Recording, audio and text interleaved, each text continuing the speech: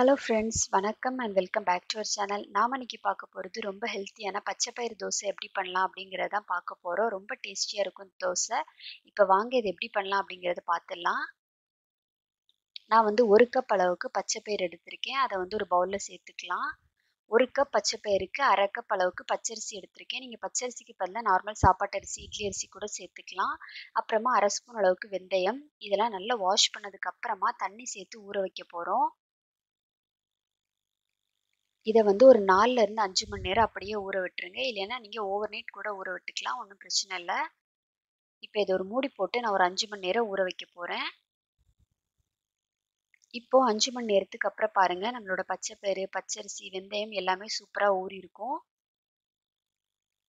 இதை வந்து நம்ம ஒரு மிக்சி ஜாரில் மாற்றிட்டு அரைச்சிக்கலாம். இது கூட ஒரு சின்ன துண்டு இஞ்சி சேர்த்துக்கலாம்.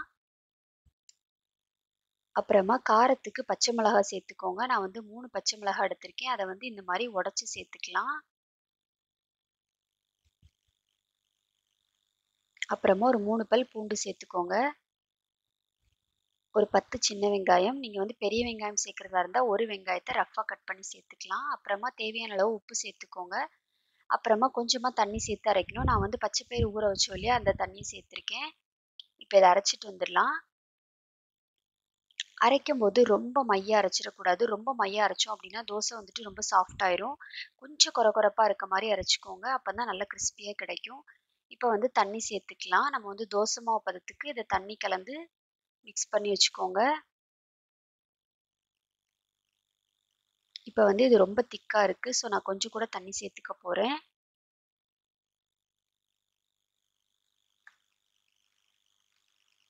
உப்பு செக் பண்ணிக்கோங்க. உப்பு தேவைப்பட்டுச்சு அப்படின்னா இந்த ஸ்டேஜில் ஆட் பண்ணிக்கலாம். இப்போ இதை நல்லா மிக்ஸ் பண்ணதுக்கு அப்புறமா நம்ம வந்து இதில் தேங்காய் துருவல் சேர்த்துக்க போகிறோம் நான் வந்து ஒரு அரை கப் அளவுக்கு தேங்காய் துருவல் சேர்த்துருக்கேன். இது வந்து கண்டிப்பாக சேர்த்துக்கோங்க. ரொம்ப நல்லாயிருக்கும் சேர்த்ததுக்கு அப்புறமா இதை நல்லா மிக்ஸ் பண்ணிக்கலாம். இப்போ வந்து நீங்கள் உடனே கூட தோசை சுட்டுக்கலாம். ஆனால் நான் வந்துட்டு ஒரு ஒரு மணி நேரம் இதை புளிக்க வச்சு அதுக்கப்புறமா சுட போகிறேன் புளிக்க வச்சு சுட்டோம் அப்படின்னா அதோட டேஸ்ட் வந்து இன்னும் ரொம்ப சூப்பராக இருக்கும். இப்போ இது ஒரு மூடி போட்டு நான் ஒரு ஒரு மணி நேரம் புளிக்க வச்சாச்சு. இப்போது தோசை தவை வந்து நல்லா ஹீட்டாக இருக்குது நம்ம தோசை ஊற்றிக்கலாம் நல்லா மிக்ஸ் பண்ணதுக்கு அப்புறமா தோசை ஊற்றிக்கோங்க இதை வந்து ரொம்ப மெல்லிஸாக விரிச்சிக்கலாம். எந்த அளவுக்கு தின்னாக விரிக்க முடியுமோ அந்த அளவுக்கு விரிச்சுக்கோங்க. விரிச்சதுக்கு அப்புறமா இதில் வந்துட்டு நெய் இல்லைன்னா தேங்காய் எண்ணெய் சேர்த்துக்கலாம். ரொம்ப வாசனையாக இருக்கும்.